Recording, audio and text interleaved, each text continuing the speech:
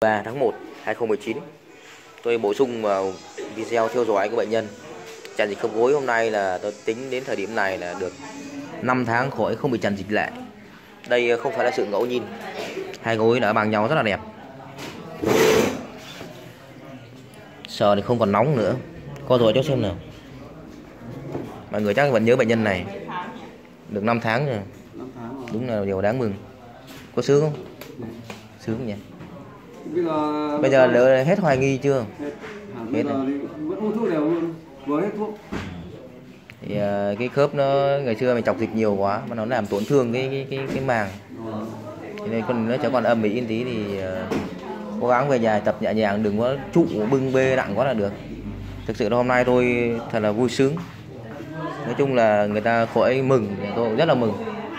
Tôi đã làm những điều đủ sự thống kê đầy đủ ví dụ như là đỡ được một, hai tháng thì cũng là bình thường, nhưng tôi nói khẳng định là khỏi, không phải là đỡ. Không phải là ngẫu nhiên nữa, mà hoàn toàn khoa học. Đơn huyệt cho bệnh nhân này tôi vẫn tôn sùng là tất dương quan và túc tâm lý. Cái này chắc là cả công vợ chăm nữa. Bác ngọc cũng một ít thôi. Rồi đấy là rất là vui rồi. Chú ngồi xe bên kia đi, để cháu bấm cho chú một tí.